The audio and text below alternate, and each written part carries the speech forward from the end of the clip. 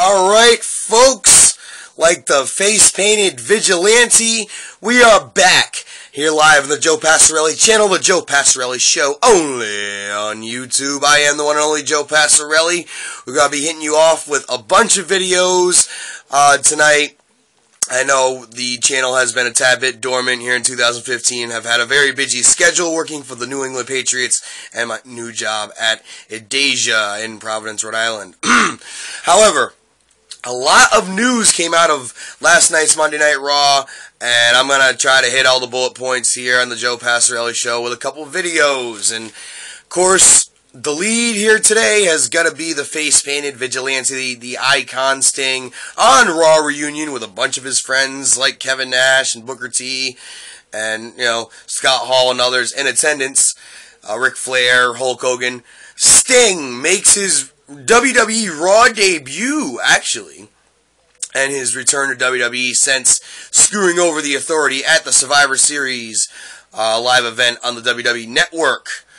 Sting comes out. Cena's in a three-on-one handicap match, fighting for the careers of Ziggler, Rowan, and Ryback to return to WWE. And Sting comes out. Still no bat for the second time. We have not seen the presence of a bat in Sting's hand in WWE. You wonder if WWE is removing the the bat. Sting comes out. He's wearing his red, uh, his uh, his coat with the red in it, which he wore in TNA, which I found very interesting. Um, very cool that he broke out one of his TNA coats.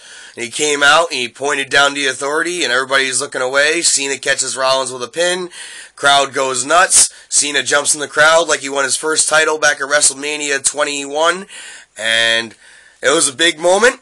And certainly a lot of others made impact, and we'll break off that. But folks, the face painted vigilante himself, the icon, the man who is known for Showtime! Woo!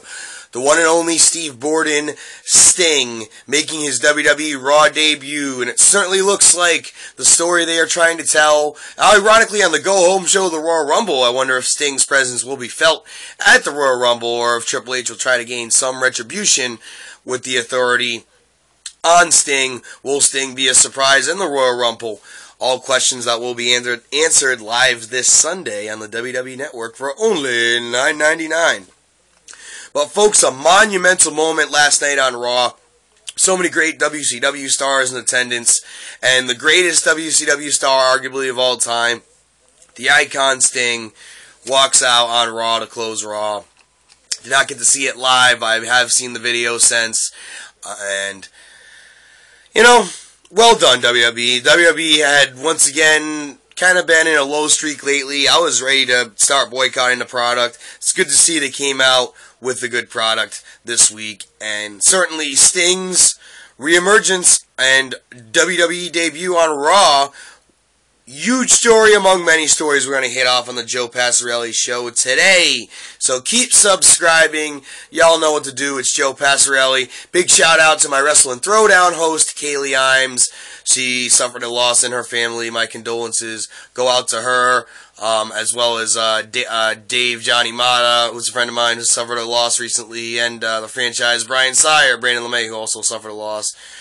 Uh, you know, uh, my thoughts and prayers with all you guys and, and the friends and families uh, of your lost loved ones. But not to end on a somber mo- note, but Joe Passarelli here Keep subscribing. Shout out to everybody. Chris Soriano, Andrew Augustus, the whole Strike Zone crew, Immortal Psych, Mike Sorkin, Jazzman, Nate Grist.